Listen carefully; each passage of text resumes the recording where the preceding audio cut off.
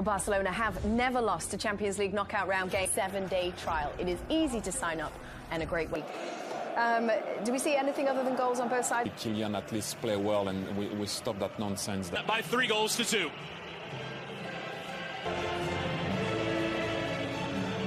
Tonight, Barcelona won't need much more than what they got. Second leg.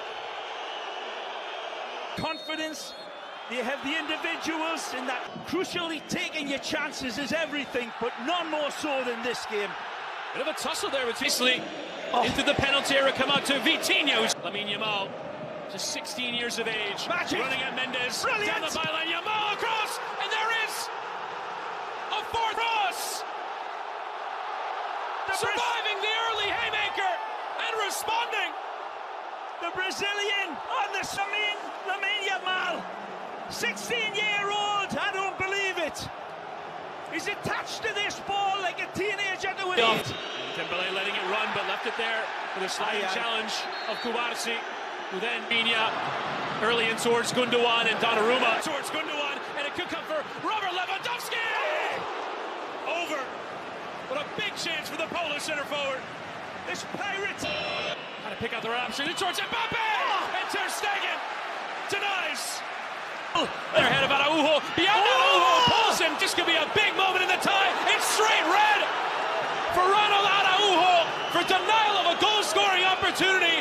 And, this, and the, the, referee is now asking Araujo. And now Dembele. Well, what changes now for both coaches?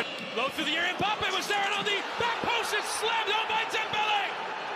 Will he celebrate this time? He's got to run back to...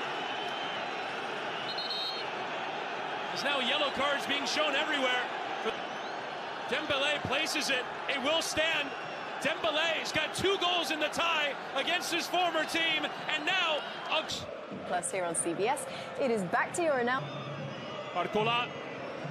Mbappe fighting and flicking it off of Jules Koundé. Higher piece. These Barcelona fans. Now Hakimi from range and oh. spilled by Ter Stegen. It was not the most convincing. Arriving Barcos Vitinha! He's done it again!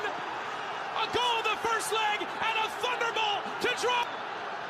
He instantly recognizes where this. Such as letting him down and Cancelo. And from that angle, well, this will be the telltale. All. It's Kylian Mbappe, the man who always rises to the big occasion, has given Paris Saint-Germain the aggregate lead.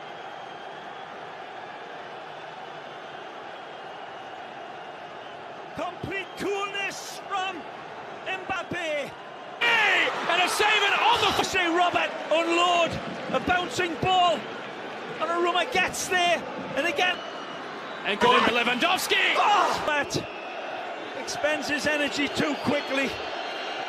Clearly offside. Running with Torres. Lewandowski the blocking. Oh. And Torres frustrated that he didn't get the ball. Follow the save from Asensio. And Mbappe! Paris Saint-Germain into the semi-final. Bay, in his last dance with the club with the decisive goal.